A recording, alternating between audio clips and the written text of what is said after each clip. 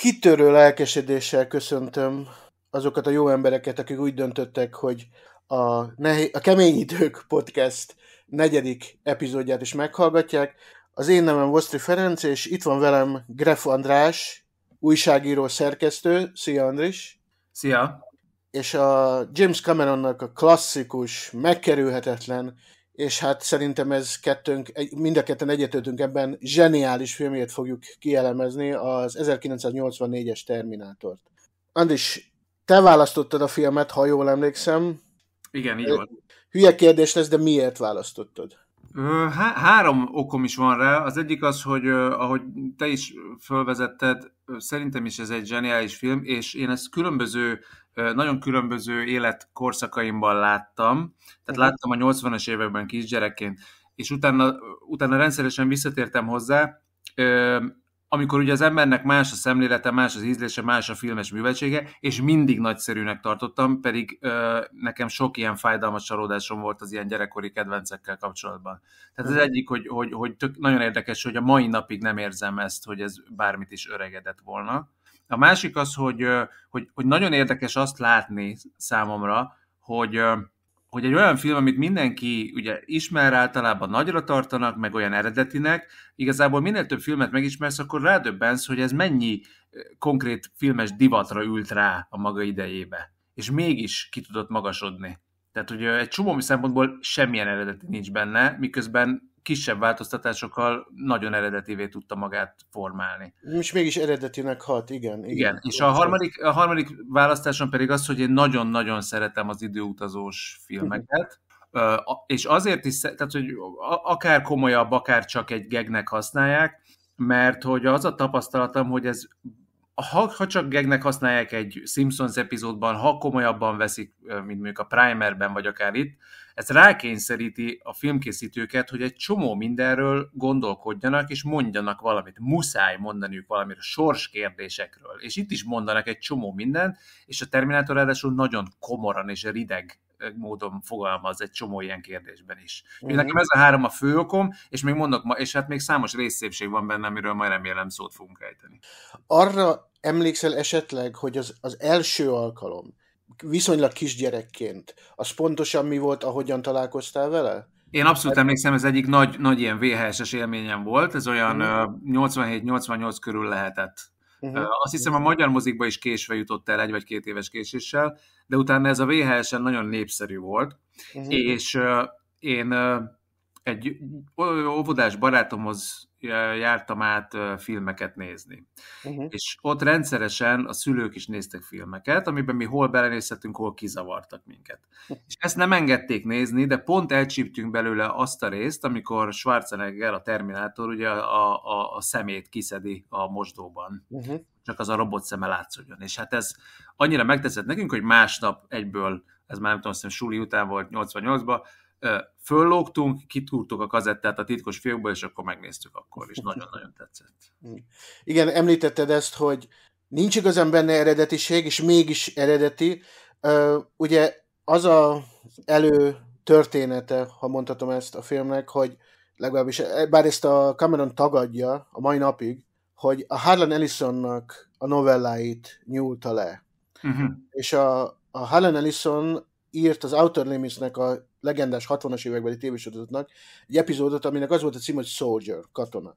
És hát a Soldiernek kb. ugyanez a sztoria, mint a Terminátornak. És uh, egyrészt a Harlan Ellisonnak egy ismerőse elment a Terminátor forgatására, és ott a, a Cameron szó szerint mondta neki, hogy innen jött az inspiráció, ezt mondom, a Cameron tagadja. Másrészt pedig a, volt a Starlog nevű nagyon híres science fiction magazin a 80-as években, és annak a Cameron adott, az, egy, adott egy interjút, amiben szó szerint azt mondta, hogy lenyúlta Helen Ellison-t. Ezt a mondatot a Gail Ann Hurd, aki a producere a Terminatornak, kivetette megjelenés előtt a, az interjúból, de köztudott, hogy ez valóban benne volt, ez a mondat eredetileg. Úgyhogy amikor a Helen Ellison végül fe, per, fenyegetőzött, a, mikor meglátta a filmet, megnézte a filmet, uh, teljes, teljes joggal fenyegetőzött, és hát valami elég komoly lóvét is kapott, valami 400 ezer dollárt kapott ö, vigaszdíjként, és egy, egy kreditet a film végén. Tehát ö, igen. Igen, ö, hogyha onnan nézed, hogy, hogy, hogy legalább két ilyen alirányzathoz kapcsolódik a film, ugye ez a Mad Max féle posztapokaliptikus filmekhez, és mondjuk és a slasherhez. Ugye igen, hallgattam, igen hallgattam, amikor a Kobráról beszélgettetek, és ott is ugye előkerült, hogy annak milyen érdekes, hogy tulajdonképpen számos szempontból egy horrorfilm struktúrát követ, meg olyan a hangulatát, a Terminátor az száz százalékban. Terminátor az még inkább, és erről szerintem beszélni is fogunk mindjárt bőven. Igen, igen. És hogy, és hogy azt akartam mondani, hogy az az érdekes, hogy egy 84-es film, és addigra már nem, nem az, hogy ezek a tetőn voltak, hanem már le is csengett. Tehát a, a, ja, ja. a Mad Max-nek az olasz kópiái futottak ki 84-re, a, a, a Slasherben meg már a Nightmare on Elm Street-nél tartott a műfaj, ami azt jelenti, hogy már újra ki kellett találni, mert annyi készült, és annyira. És, és teljesen ezekre ül rá a film, és nekem ez, ez nagyon érdekes, hogy mégis nagyon eredeti, illetve hát szerintem, ha slashernek nézed, akkor ez az egyik legjobban megcsinált slasher az atmoszférájától kezdve a, a, a bármi jelenet, jelenet szinten. Igen, egész, egész, egészen odáig, hogy, a, hogy ebben van szerintem a legjobb Final Girl, a, a, ugye uh-huh. a Sarah Connor. Igen. Figyelj, T-101, az, tehát a Schwarzenegger, a Terminátor, az egy, egy robot Michael Myers igazából. Igen, hát ugye teljesen, igen, hát a maszk az arca, azt szerintem igen, fantasztikusan igen, csinálja a, a, a Schwarzenegger benne. Igen, ugye eredetileg a Terminátort, a Cameron azt a Lance Henriksennek akarta volna adni a szerepet. Azt akarta, hogy a Lance Henriksen legyen. És egy, ez volt az alapvetése is a forgatókönyvnek, hogy egy teljesen átlagember ered a Sarah nyomába. Uh-huh. De, de szerencse, a bármennyire is szeretem a Lance henriksen szerencse, hogy lecserélték, és szerencse, hogy Schwarzer kapta a szerepet, mert egész egyszerűen vizuálisan, hogy ez a két ajtós szekrény, aki nem tud rendesen angolul, és a mimikája rendkívül korlátozott, ered ennek a szerencsétlen nőnek a nyomába, ez, ez annyira hozza azt, hogy egy megállíthatatlan robot tarolja le fél Los Angeles-t, hogy, hogy hogy ez valami csodálatos. Tehát ez egy nagy szerencse, hogy az egyébként a remek Lance Henriksen nem kapta meg ezt a szerepet, és kapott egy kis szerepet, és elég gyorsan elhalálozik benne. Igen, tulajdonképpen, ha így mondod, látom magam előtt, hogy ő milyen lenne a Lance Henriksen, de, de tényleg a Schwarzeneggernél az van, hogy, hogy egy komplet kivégző osztagot látsz.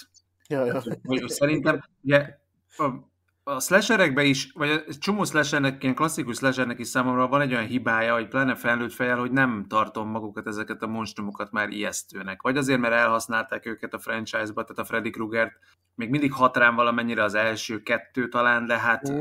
nem tudok eltekinteni attól, hogy hányszor láttam ilyen, ilyen mikroszkóp színpados hülye egysorosokat. A kettő, a, csak és bármilyen más franchise-ba átugorhatunk egy pár szó erejéig. A, a Rémánomnál az a probléma, hogy a háromtól elkezdik a poénokat belerakni a filmbe elég erősen, és Igen. ez a humor, hát humorkodás, viccelődés nagyon fellazítja. És, e, és érdekes módon a Terminátornál és a harmadik rész az, ami elkezd borzalmas poénokat beletenni a filmbe, nem tudom, hogy mennyire van előtted a Terminator 3, Uh, hát egyszer szab... láttam, megnéztem moziba, de annyi elég volt. Rettenetes. Valami ilyen, ilyen napszemüveges viccelődésre emlékszem belőle. Borzalmas, borzalmas. A, a négyediket szapulják a legjobban, de szerintem a három sokkal rosszabb nála. És pont ez az, ami... ami... A negyedik volt az, amiben már nem is volt a Svarci, vagy az melyik volt? Uh, volt egy, amiben nem volt, nem? Csak Ná, a nem, nem, talán, vagy na minden. Három, három után nekem annyira összefolyik ez az egész, hogy borzalmas, követhetetlen. Szóval Na igen, szóval az, hogy addig megmenekül a humortól többé-kevésbé a, a franchise, a Terminator franchise, ez a nagy szerencséje. Ezért, és mivel a, te, a T2-ben, nem tudom, hogy a T2 iránt milyen érzéseid vannak, én azt a filmet már 91-ben gyerekként sem szerettem olyan túlságosan, pontosan azért, mert uh, higítanak, mert lazítanak a figurákon, uh, de kontrasztként uh, a Terminator 1 viszont a mai napig hibátlan szerintem. Pontosan azért, mert kőkemény, pontosan azért, mert jéghideg, mert annyira kiszámított, és ez hozza valószínűleg a, az egyediség, az eredetiség érzetét, hogy, hogy borzalmasan ki van számolva minden jelenete, és ez a Cameron zsenialitása, hogy, hogy annyira érzi, hogy hogyan kell egy akciófilmet elkészíteni, hogyan kell pörgetni, hogyan kell ütni vele, hogy ez valami egészen elképesztő.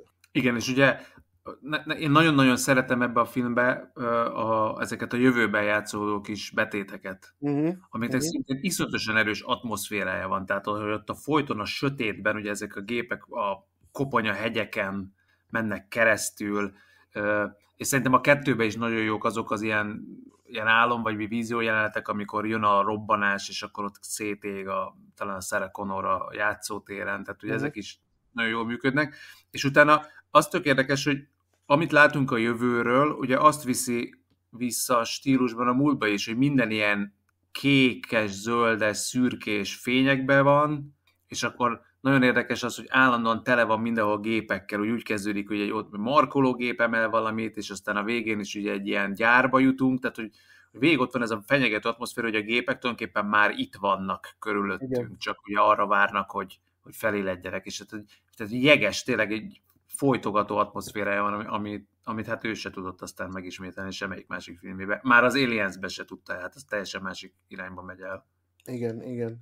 Ez, mondtad ezt a kék vizualitást, tehát egészen a Terminator, Terminator után szeret bele annyira a kék szűrőbe a Cameron, és az Aliens az például már egy teljesen kékben ázó, kékben fürdő film, ami szerintem olyan túlságosan nem tesz jót a filmjeinek, hogy állandóan ez a kék szűrő van rajtuk, mert a Terminator egy pontosan emiatt hozza a realitás érzetet, hozza azt, hogy, hogy tényleg egy mocskos Los Angelesben vagy, és a, a, a, az, a jöv, azok a jövőbetétek, igen, a, a harci, a jövőbeli harci betétek marhajok, de nekem a jövőbeli betétek közül azt tetszik a legjobban, amikor a film felénél körülbelül Kyrie pihenni szeretne, és végigmegy azon a, azon a kazamatán, ahol a túlélők ö, vannak ö, elszállásolva, és látjuk azt, hogy micsoda tényleg abszolút nadírban, él, micsoda mocsokban élnek, micsoda Igen.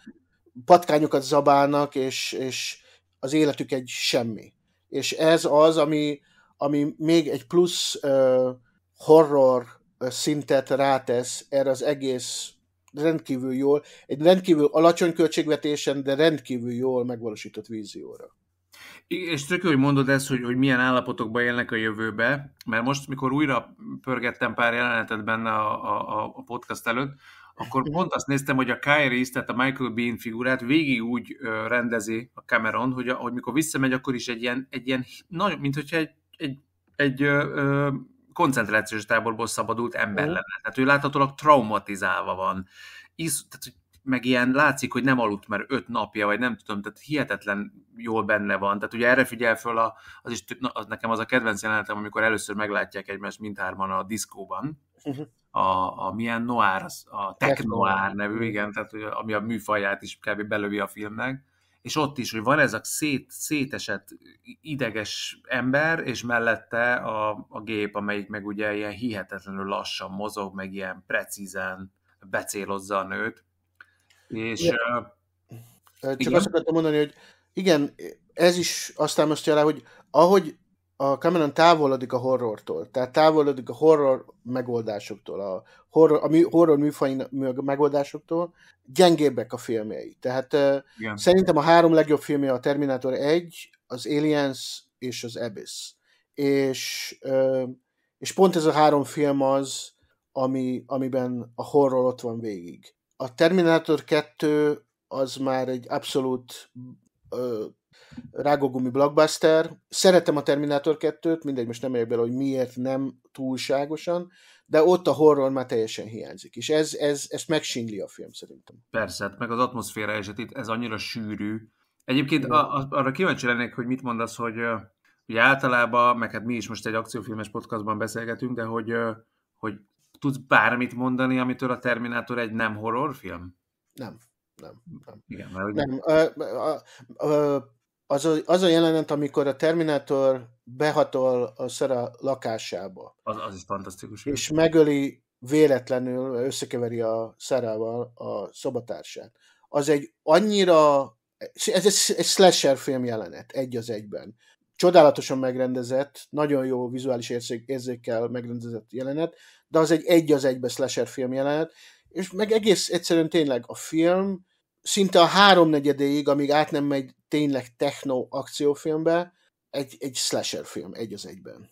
És még ott is ügyesen játszik ugye a műfai ilyen konvenciókkal, hogy van egy ilyen klasszikus slasher befejezés, hogy azt hitted, hogy ugye meghal a, uh-huh. a gonosz, mikor felrobban a yeah, kamion, és, és, és uh, utána mégis voltam, de aztán még egy, de megduplázza ezt, mert ugye a Kairis felrobbantja, amikor azt hiszed, hogy most akkor már tényleg pont került a, a dolog végére, de aztán még az szintén szerintem, és nagyon jók, tehát nagyon jól néz ki ma is a trükkök. Talán pont amikor kiveszi a szemét, ott, ott arra tudod mai szemmel azt mondani, hogy valahogy olyan merev a maszk, de ez is jót tesz az egésznek, mert hát ugye egy, egy, egy, egy nem emberről beszélünk. Tehát... Pontosan az, a, az egyetlen, szerintem az egyetlen maszkmesteri teljesítmény, ami megbicsaklik, az a teljes fejnek a mutatása ott a fürdőszobai operációs jelenetben, de még ahogy ott mozog, és ott a mozgással van probléma, de még, még akkor is, ahogy ott mozog a fej, az a darabos mozgással, az csak ad ahhoz, hogy ez egy,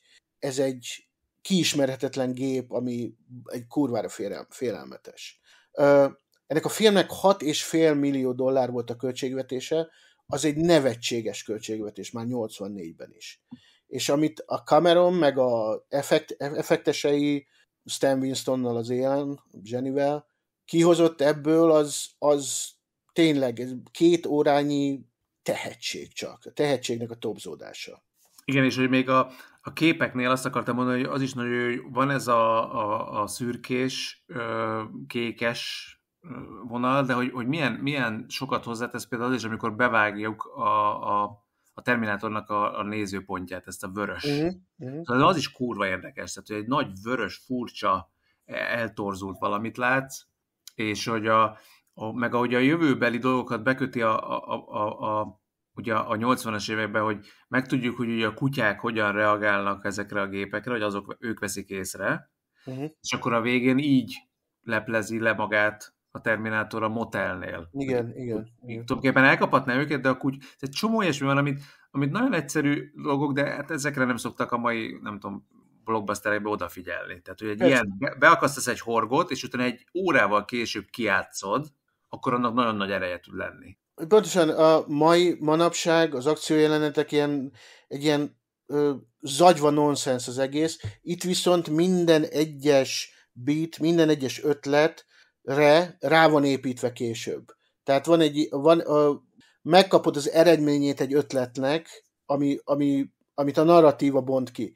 A, csak az effektekre visszatérve beszéltük a, beszélünk a jövőbeni harci jelenet, jövőben játszódó harci jelenetekről, és hát uh, már az első jelenetben, az intróban uh, láthatunk egy úgynevezett back projection, tehát az, azt, hogy szó szerint úgy van megoldva az effekt, hogy a előtér mögé oda van vetítve, de egy vetítővel egy korábban felvett miniatúra mozgása, egy, egy ilyen harci űrhajónak vagy harci repülőgépnek a mozgása, és annyira működik, ahogyan ez össze van vágva, hogy ez egymásra van passzírozva, hogy bár tudod, hogy ez egy effektot, érzed, hogy ez egy effektot, látni, főleg ilyen tapasztalt szemmel látni ezt, mégis szerintem jobban működik hatásában, mint akármilyen csillivili CGI manapság. Igen, meg hát ha jól tudom, akkor ott a végén, amikor már a robot leolvad róla ugye a húsbőr, akkor ott meg ilyen stop motion technikával van egy igen, csomó, igen, minden, igen. ami szintén hát, szerintem elképesztően jól van megcsinálva. Nagyon, nagyon. De ez, hogy gyors. Tehát, hogy, hogy, hogy sietni kell, ugye meg, megsérül a két ember, rohanniuk kell be a gyárba, és mögöttük egy ilyen gyorsan mozgó, de furán mozgó valami van. Igen. Az, az nagyon kísérteties. Igen, például igen, az a stop motion is. Azt, arról is látod, hogy ez stop motion. Tehát látod azt, hogy az egy effekt. Ez konkrétan igen. egyértelmű, hogy egy effekt, és mégis elfogad, jobban elfogadod, szimpatikusabb, és nyilván ez csak ö, magam nevében beszéltek, és jobban, akármilyen kontextussal is beszélünk ezzel a filmmel kapcsolatban, jobban illik bele, mint mikor, mint egy mai szar CGI. Én kimondhatom tőlem, utálom a CGI, de hát ez eléggé köztudott. Szóval ezek az effektek emberibbek, akármilyen furcsán is hangzik ez egy Terminátor filmmel kapcsolatban. Igen, nem tudom, hogy a Stan Winston, ő, ő hol volt itt a karrierjében, azt tudod? Most nem uh, Stan hogy... Winston, ez, ez teszi őt igazán sztárra. Tehát uh-huh. uh, ugyanúgy, ahogy a Schwarzit. Um, ő egy uh, elismert és foglalkoztatott maszkmester volt, de, de igazi sztára ez a film teszi igazából. És hát megérdemeltem. És a, majd beszéljünk a Schwarziról is kicsit, meg hogy ő mit tesz ehhez hozzá, mert na, nagyon sokat hozzátesz, de hogy nekem például a T2-vel az az egyik problémám így uh, újra, újra nézésekkor, hogy a, tehát nem ő, hanem a, a Linda Hamilton figurával, az, nekem az a bajom ott, hogy ott, amikor először meglátjuk, hogy szákásra gyúrva, nem tudom, fúzockodik ugye abba az elmegyógyintézetbe, vagy hol, Uh-huh. Onnantól nincs kérdés, hogy ezt a nőt nem lehet legyőzni. Itt viszont ebben a filmben azért mondtam a legjobb Final girl mert itt egy riadt pincérlányt látunk az elején, aki, akivel száz százalékban lehet azonosulni, és semmilyen fantasztikus, tehát ilyen természetfeletti dolgot nem csinál a filmbe. Uh-huh. Épp hogy sikerül neki nagy nehezen, gépek segítségével, ami szerintem nagyon szép a végén, hogy csak úgy tudja végig elpusztítani, hogy ráenged egy gépet, és ez, ez az ív, ez, ez sokkal erősebb szerintem, mint a, a T2-ben. Ott van Svárci, aki jó, megjavult, és ott van még mellette ez az Amazon, ott, ott ezen számomra nincs tétje. Tehát, hogy pontosan tudod az utolsó percig, hogy, hogy, hogy ez, ez nem mutatnak el. Itt viszont, és a Kyrie ugye meg is hal benne, ami szintén fantasztikus, hogy, hogy ez hogy így ér véget az egész. A T2 az igazából remake az első Terminátornak. Tehát ugyanazok a bitek vannak Igen. benne, csak egy százszoros költségvetéssel. És, és ezt megsínli a film eléggé szerintem. Majd egyszer beszélünk a T2-ről is, de külön adásban. Ha, én szeretném, ha arról is veled beszélnék, és, és, és igen, így 30 évet, 30 plusz évvel később sem tudom olyan igazából megszeretni. Mondom, amikor egy, megnéztem egy autós moziban, emlékszem, hogy autós moziban néztem meg a T2-t, családdal, és mindenki oda volt érte, én meg egyszerűen nem értettem, hogy miért, mert az biztos, hogy az első, mit tudom én, negyed órája, fél órája az elképesztő pusztítás és effektek szempontjából. De abban a pillanatban, és a Schwarzenegből egy ilyen kiskutyát próbált csinálni a Cameron, mert nem volt más rá lehetősége, mert akkor a sztár volt ott a Schwarzenegger, hogy nem lehetett, hogy rossz ember, vagy rossz fiút játszon. Szóval abban a pillanatban, hogy egy ilyen pozitív figurát kezdett csinálni belőle, nálam teljesen behal a film. Nagyon, egyszerűen az ami, az, ami pont ami a Terminator egyet ö, nagyszerűvé teszi, azon változtat a T2-ben, és, és ezzel szabotálja.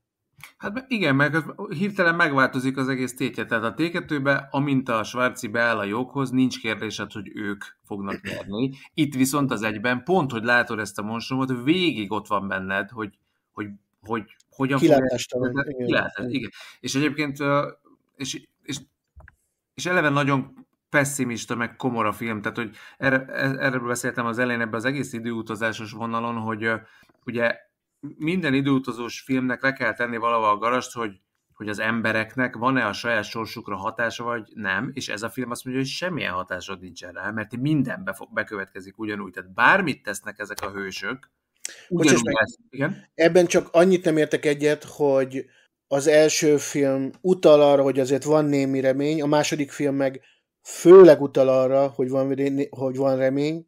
A harmadik film az, amely azzal az agyalágyult atomháborúval ér véget, tehát úgy van vége a filmnek szó szerint, hogy kitör az atomháború, az, ami, tehát eleve egy totálisan idióta film, az az, ami tényleg elvesz minden reményt az emberiségtől, de az első rész vége szerintem fenyegető, a második kimondottan reményteli, a harmadik az, az borzalmas. Az tényleg szar. Igen, de itt az elsőben is ugye a, a, a vége, ami szerintem egy gyönyörű ilyen epilógus jelenet, amikor uh-huh. a Sarah Connor megy az autóval, akkor ugye azt látjuk, hogy takra az a fotó készül el, ugye?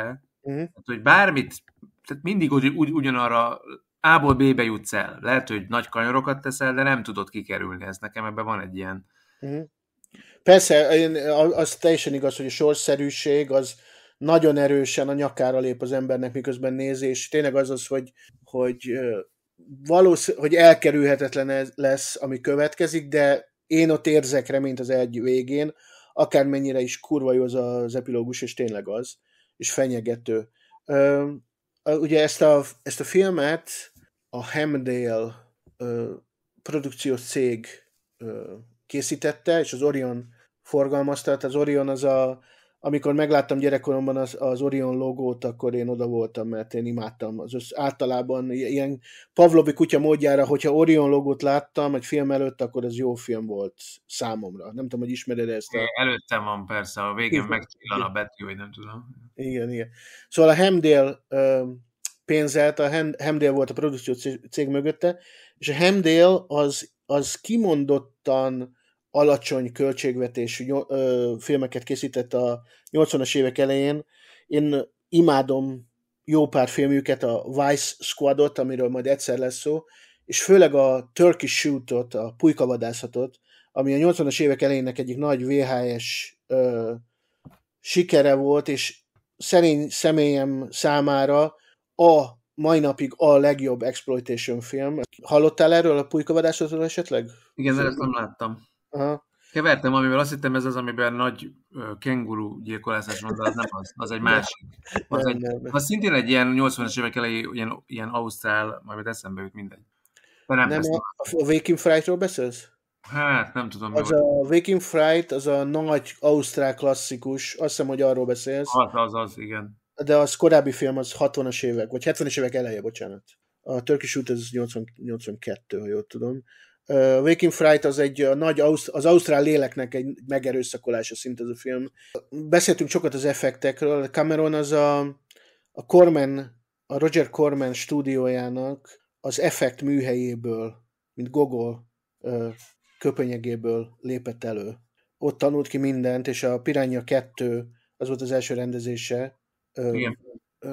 rendezői székébe is onnan ment. Ugye a Piranha 2 az, az egy nagyon problematikus forgatása volt, más kezdte el rendezni, aztán a Cameron beállt, megrendezte kb. a felét, de mivel Cameron módra ö, állandóan túlépte vagy a költségvetést, vagy a forgatási időt, jó picsán rúgták, és elvették tőle a filmet. Ha, aki ezt a podcastet hallgatja, és esetleg úgy gondolná, hogy megnézze a Piránya 2-t, ne tegye, mert semmiféle Cameronos nincsen benne, a kezdő jelenettől eltekintve, amikor egy lemennek búvárok, és megtalálnak egy hajóroncsot a tenger alján.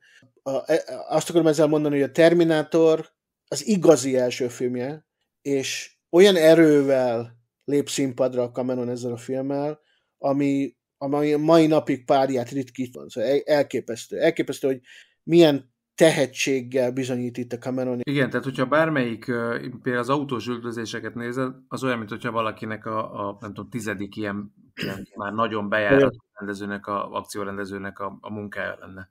Annyira professzionális az egész. Meg, meg ugye kurva jó a zenéje a filmnek, tehát az, az, az is sokat hozzátesz, meg hogy... Ja, Brad Fiedel. Igen, hogy te rámutat, hogy, hogy milyen sokat számít, tehát hogy, ahogy a filmben nem lehet eltekinteni attól, hogy ez zene, kép, együtt minden, mozgás, ja, ja. és hát anélkül elképzelhetetlen. És végig ott van, tehát ugye a, ez a nagyon furcsa GPS nyomasztó zene benne. Igen. Nekem az... a... Igen? Nem, bocsáss meg, mondja csak, mond. Nem, én már a Schwarzira akarok átkötni, hogy ha lehet, hogy, hogy róla mindig az jut eszembe, hogy amikor visszatért egy tíz éve ugye a politikai pálya után ebbe a, a Kim ji nak egy ugye nem túl érdekes filmébe, a The, The Last Stand-be. Uh-huh.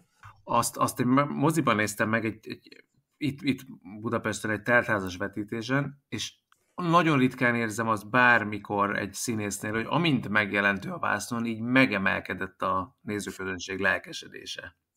Ö, mert egyszerűen ilyen hatása van. Tehát, hogy, hogy szerintem ez a film, a Terminator egy, róla is, meg a Linda Hamilton, ha nézzük, tehát ha őket, kettőket nézzük, be lehet, hogy a Michael Bean-re is igaz ez, ö, szerintem nagyon sokat meg lehet érteni ebből, hogy mit jelent a, mitől lesz valaki jó filmszínész. Tehát, hogy egyikre se bíznád rá, nem tudom, egy Ibsen dráma főszerepét, vagy egy csomó szerepre nem lehetne őket, egyiket se castingolni, de tökéletesek, és vonzák a tekintetet, meg, meg, meg így tényleg olyanok, mint egy ilyen gra- gravitációt termelő kisbolygók. Abszolút, eh, marha jó a casting, nagyon értett a Cameron ahhoz, hogy hogyan válaszok a színészeket, és ezek nagyon jó színészek. Hát a Sváci az meg az meg egy született sztár. Lehet, hogy nem tud a mai napig normálisan angolul, lehet, hogy van mindenféle problémája van, de az az ember az erre született. Tehát ez, egész egyszerűen nem tudnám elképzelni, hogy bármi más csináljon.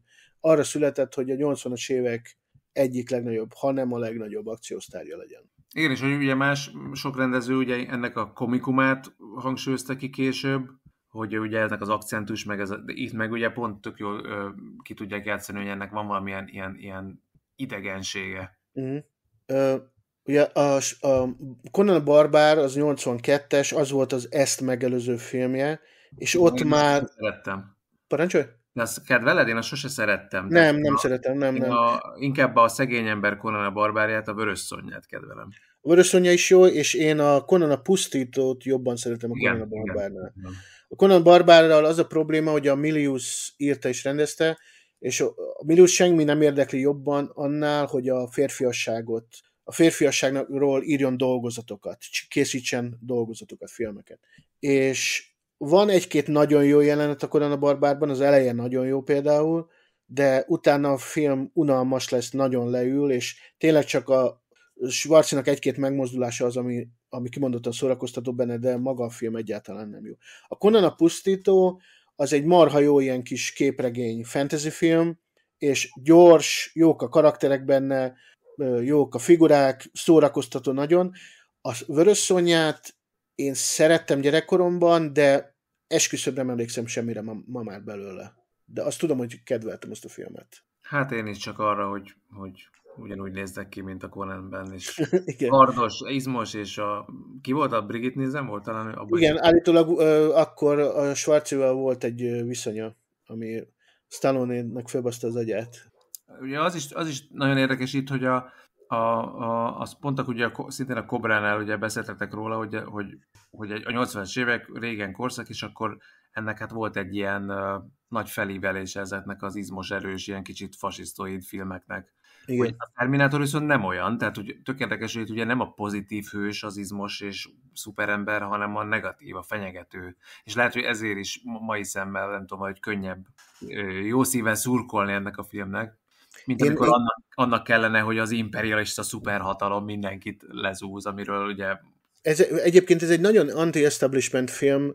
Én az évek során olvastam a, a Carpent, Carpenter, Cameron-tól uh, megjegyzéseket a filmek, filmek kapcsolatban, és úgy anti-establishment, hogy egyrészt a rendőrséggel szembeni megvetését fejezi ki, másrészt pedig a normális polgári életek, polgári élettel kapcsolatos megvetését.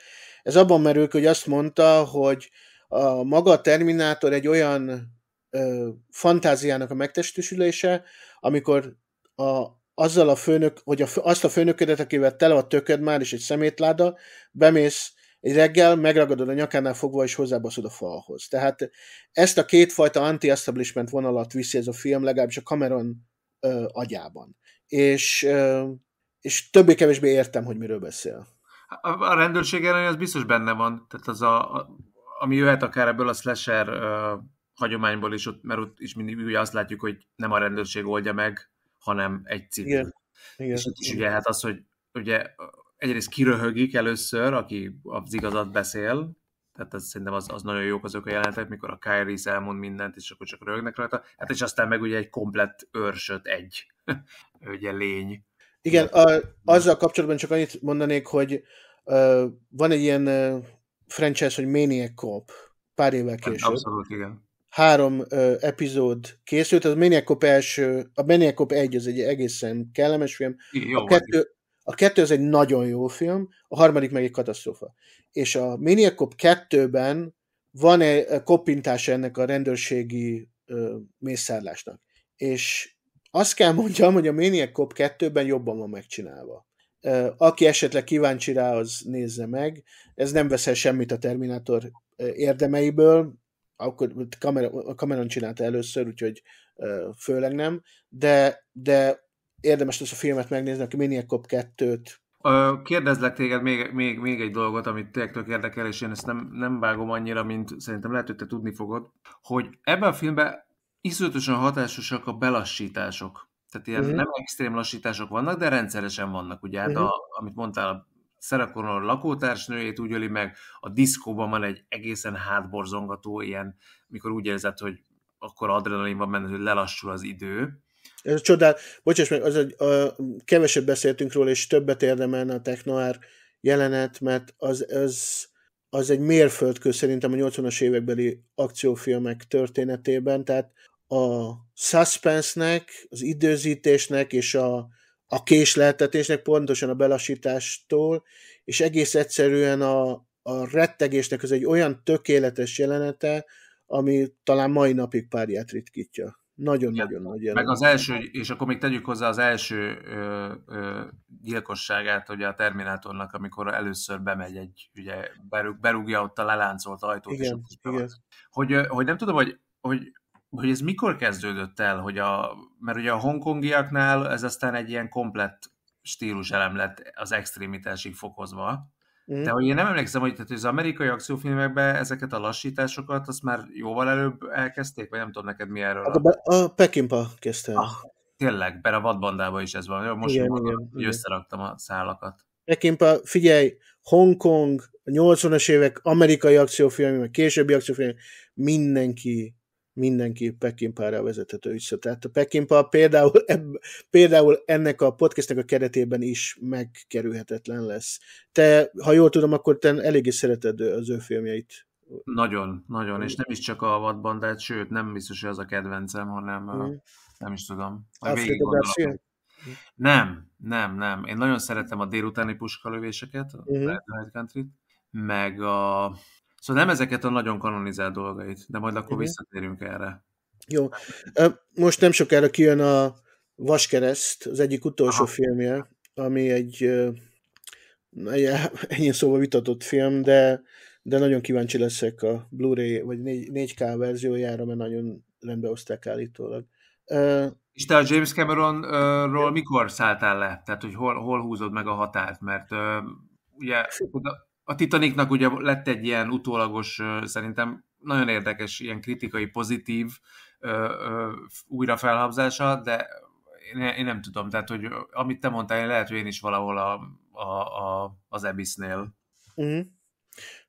A, T, a T2-nél így leemeltem a lábamról a motor, a motorról a lábam, hogy a leszállás éljek a leszállás metaforával, de de igazán leszállni róla a True Lies-nál szálltam le. Tehát én a, a True Lies ez egy nagyon-nagyon jól összerakott, jól szereposztott film, még vicces is néha, de ott átmegy rajzfilmbe, szerintem.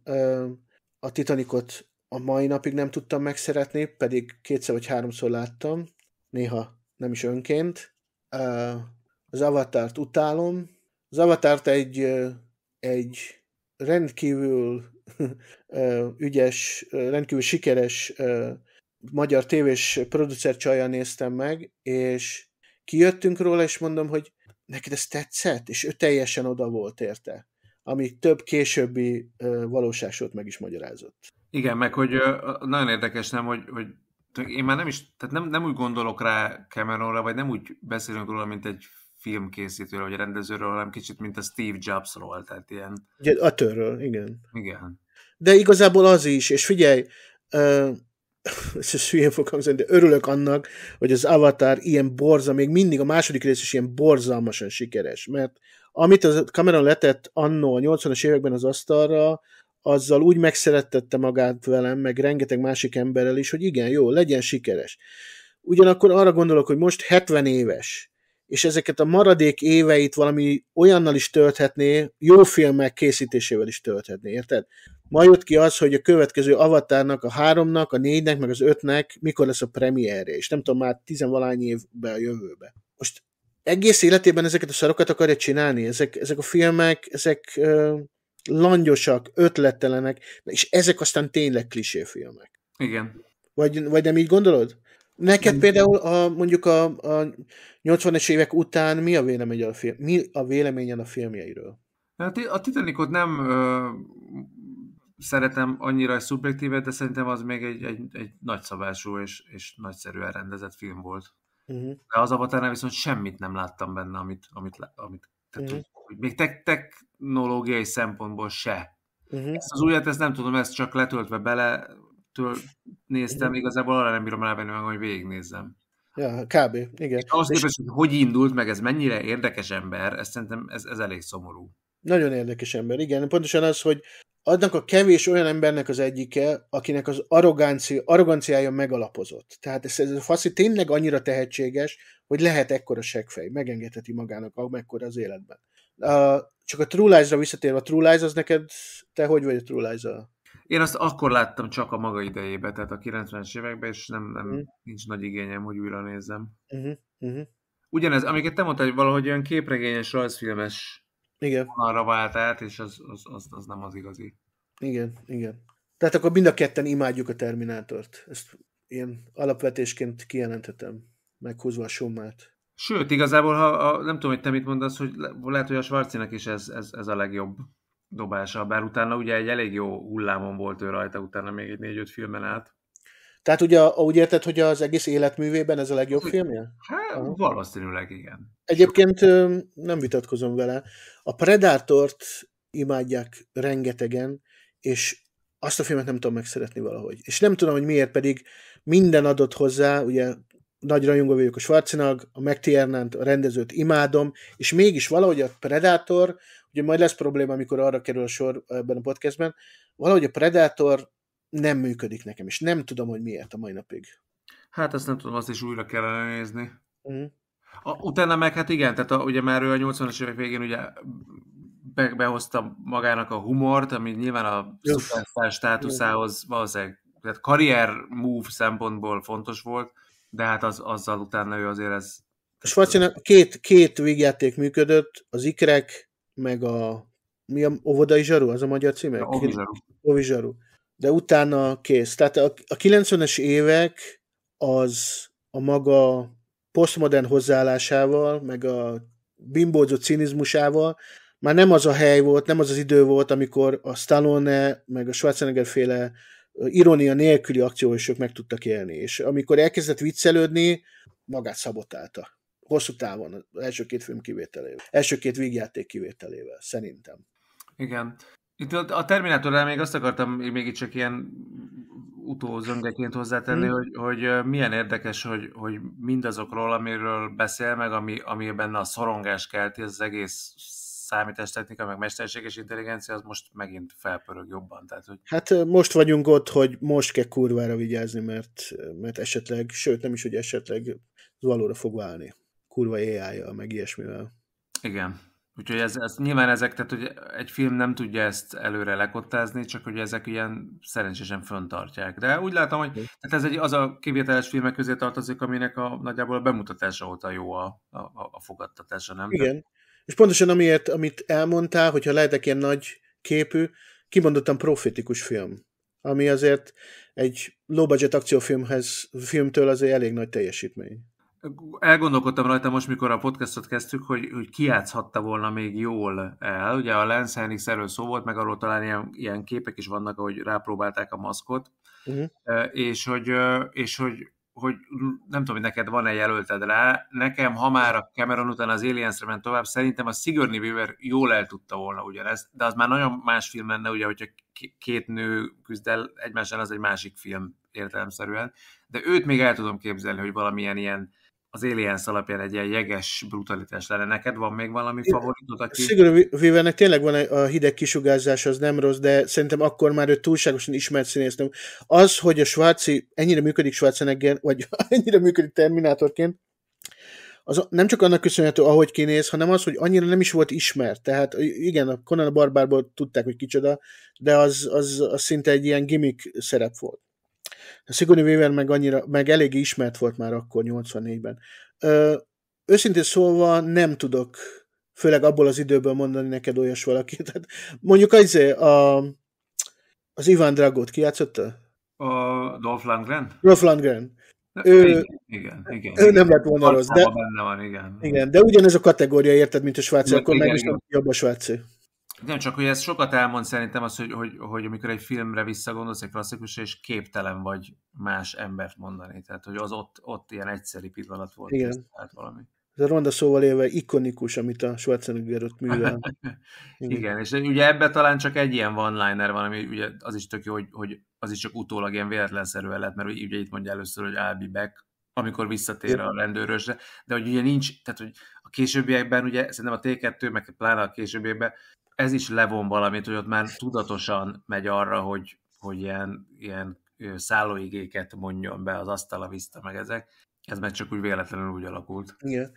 És ez, ehhez jön az, hogy ahogy a Kyle Reese meghal, csak a végén, csak így egyszerűen a hőse a filmnek, a, legalábbis az, az átlag amerikai néző 80-as években azt hisz, hogy ő a hőse a filmnek. Abszolút, igen. Egész egyszerűen csak a végén kész. Egy pillanat alatt meghal. Nincs, nincs pátosz. A halál úgy jön el, ahogy valóban a halál eljön. És, és ez is a, a Cameronnak a pragmatizmusát mutatja, hogy arja, hogy egész egyszerűen egy kemény, kegyetlen ütés legyen minden jelenet, és, és ez valami kurva jól sikerül ebben a filmben. Andrés, köszönöm szépen, hogy itt voltál, és majd Isten Tessék? Ha, köszönöm a meghívást, majd az még izgalmas lehet, hogyha valamikor majd egy olyat választunk, amiben nem értünk egyet, mert most nagyon elkül hosszú haladtunk.